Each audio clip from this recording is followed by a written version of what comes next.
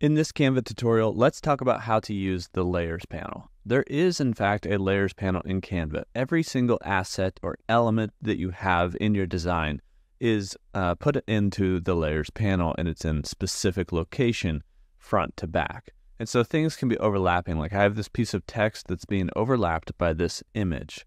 We could go to the Layers panel and see everything that's happening by right clicking on any element and then coming down to Layer and at the bottom of this, show layers.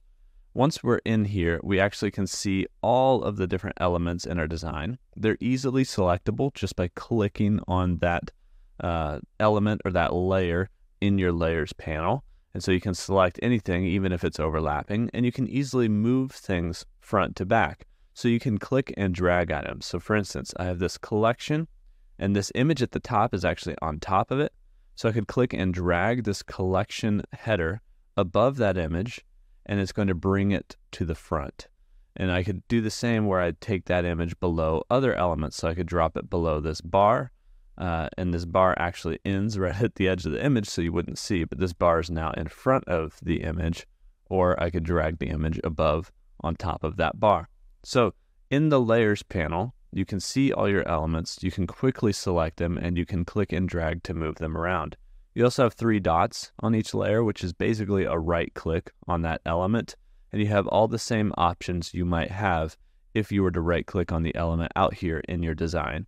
You can also see any elements that are overlapping. So the layers panel has two tabs, all layers and then overlapping layers. And so the overlapping layers is basically showing hey, these are the elements that actually overlap each other uh, in case you're trying to look for those specific elements quickly.